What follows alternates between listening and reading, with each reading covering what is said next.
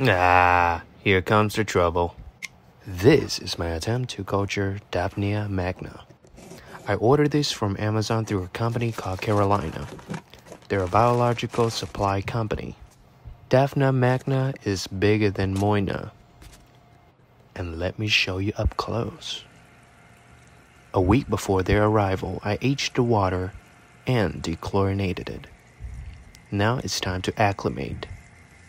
I use a 30 minutes acclimation process just like with new fish. Next, I pour it out into the main container. Hit the like and follow button to see what I feed them in part 2.